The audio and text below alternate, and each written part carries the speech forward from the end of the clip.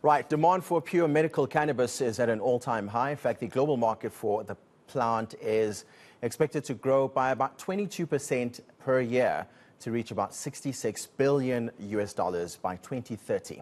To help meet this demand, Lesotho-based cultivator and manufacturer plans to triple its production this year. The company is only one of a handful worldwide compliant with European Union standards for medical cannabis, allowing it to export the region and select other markets. Now, let's find out more from MG Health's Head of Business Development, Luke van der Nest. Uh, Luke, I imagine the expansion has allowed you in some way to you know, empower the community where you are, where you have these plants? Yes, it has massively so. Um, I think the nice thing about being set up where we are, which is in a very remote area of of Lesotho, deep in, in the Maluti Mountains, um, in what we like to call a pristine environment, is that when you build a business or an operation of this size from scratch, that you're able to build in structurally into the business manners of affecting the community and impacting the community in, in a positive way um, and build it into the structure of the business so that it, outlasts the current management team and future management teams and, and really creates an intergenerational opportunity for community and the team that, that actually works as a part of MG Health. And when we talk about medical cannabis, the demand for it, Luke, are you finding a lot of clients within the country, within the territory where you're operating, or are a lot of your uh, call them patients from elsewhere? So it's it's been it's been hard fought. I think there's a lot of demand for medicinal cannabis and, and growing because it's, it really can change a lot of people's lives for certain indications. Where the real struggle is is complying with the very strict pharmaceutical standards to get into the largest markets such as Germany, Australia, and Israel, um, which are the largest markets because they've got fantastic programs and prescription pathways where medical patients or patients that require medical cannabis as a treatment are very easily able to get their product. So the, the difficulty really was getting into these markets and, and producing a product that is compliant with, with the strict pharmaceutical requirements, which is something we achieved in, in 2021. We, we began exporting into, into Germany. And um, since then, we have seen significant growth in demand, um, which is what drove us to having to triple our capacity and embark on an expansion program. Uh, something is very important because people that are on medical cannabis, it's a very important medication for them, and that once you've been prescribed it, you cannot have any discontinuation in supply. And um, so for us growing in demand to, to be able to serve the patients that we're currently helping was very, very important for us to, to trigger this growth.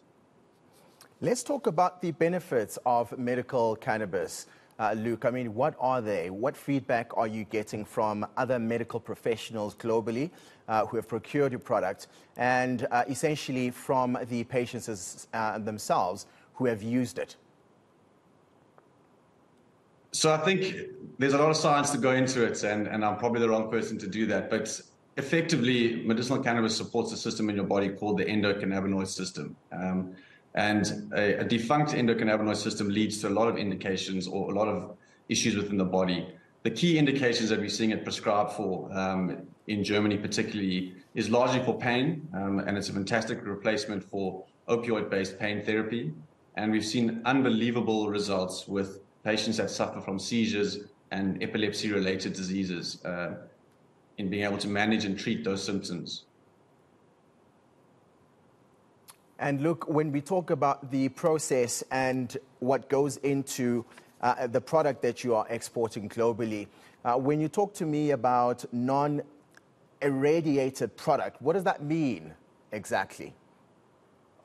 Sure. So, medicinal cannabis, one of the things that's, that's great about it is, is the high safety profile of medicinal cannabis because it's tested for a wide variety of things, such as heavy metals and pesticides but also what's called the microbial load, so which is effectively fancy word for mold and, and mold growth within the product.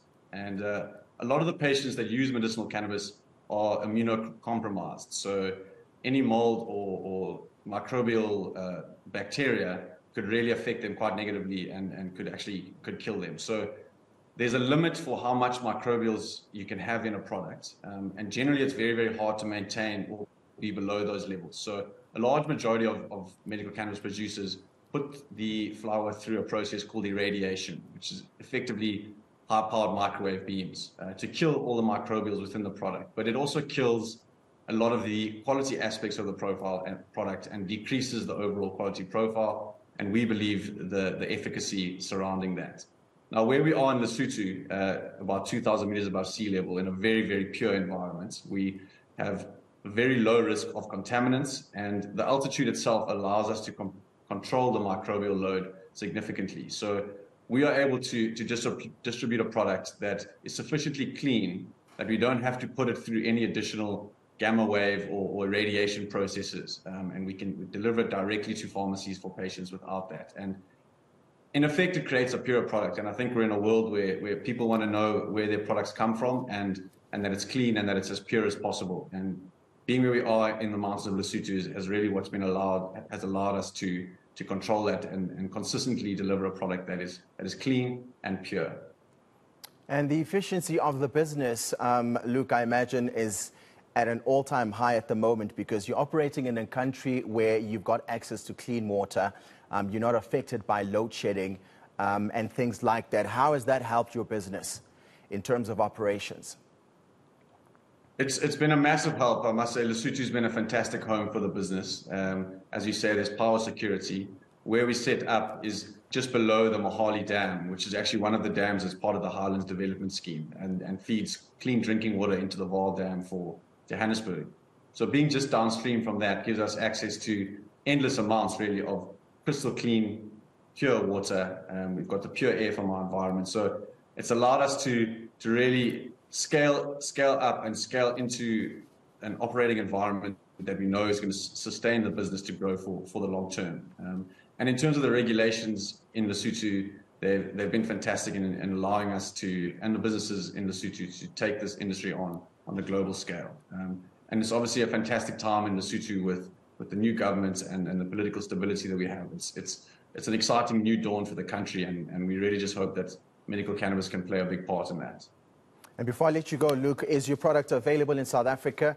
Uh, where? Unfortunately, it's not available in South Africa. Um, we, the, the medical regulations in South Africa to be able to be prescribed medicinal cannabis are very, very clunky, for lack of a better word. Um, and the doctors and patients have to go through a massive amount of work and paperwork. Um, and it, even then, it is quite, quite limited. So we're really hopeful that the regulations in South Africa, specifically for patients that want to be prescribed the product and monitored by their doctor, can ease up and we can enter this market.